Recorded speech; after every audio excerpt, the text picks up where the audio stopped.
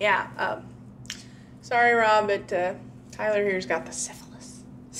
Wait, what? No, no, there's no way.